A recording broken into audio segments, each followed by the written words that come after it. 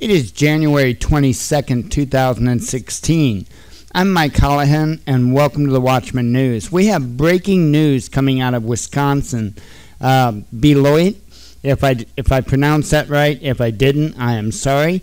Anyway, uh, the story has it a five year old boy was shot.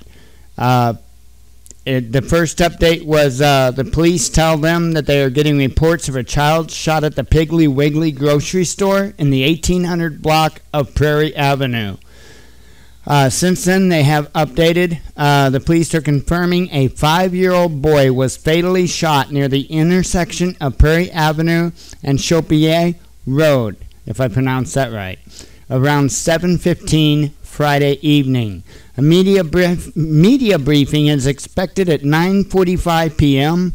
And uh, if you uh, go to the link down in the uh, description tab, I will have the address to this report, and you can keep up on any further updates.